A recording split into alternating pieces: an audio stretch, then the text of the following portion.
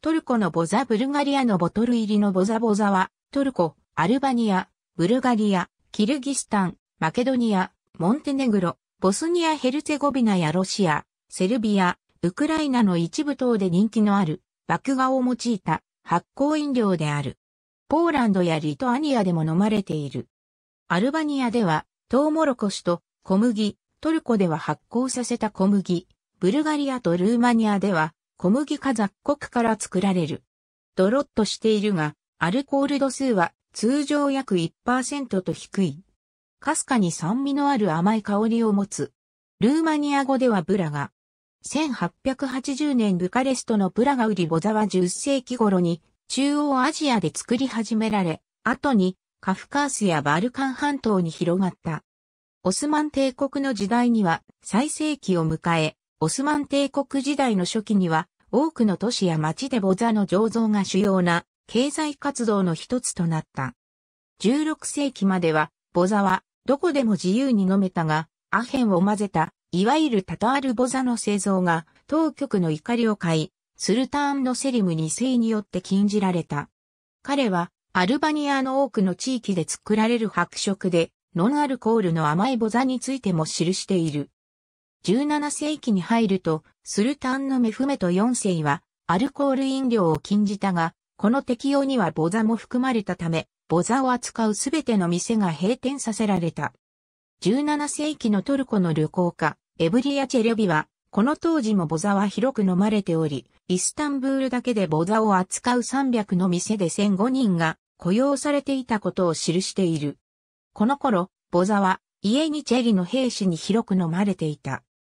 ボザには体を温める効果や競争作用があると信じられており、少量のアルコールしか含まれていないため、酩酊を引き起こすほど大量に飲まない限りは許可されていたからである。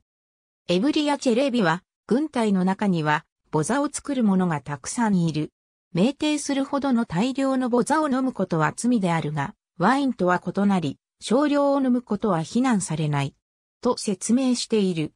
19世紀になると、オスマン帝国の宮殿で好まれる甘いノンアルコールのアルバニア風ボザの人気が増し、アルメニア風の酸っぱくアルコールの入ったボザは人気を失っていった。1876年、ハジ・イブラヒムとハジ・サディック兄弟が当時のイスタンブールの陥落の中心地だったディレクララス地区に近いベファ地区にボザの店を開店した。彼らの濃厚で酸味のあるボザは街中で有名になり、当時から現在まで続いている唯一のボザ店となっている。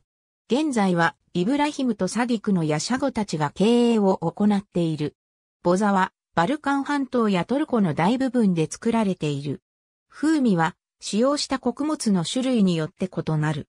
トルコ科学技術研究所によって行われた科学的研究でこの飲料はとても健康的で栄養価が高いと認定された。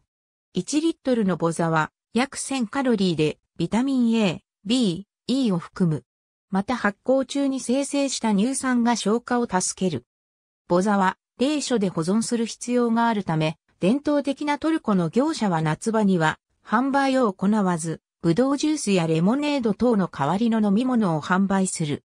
しかし、需要や冷蔵庫の普及もあることから、現在では年中手に入るようになっている。ブルガリアやアルバニア、マケドニアでは清涼飲料水として通年で作られている。ボザには女性の胸を大きくする効果があると言われている。また、ボザには母乳の生産を促す作用があるとされ、授乳期の女性に勧められている。ウィキメディアコモンズには、ボザに関するカテゴリーがあります。ありがとうございます。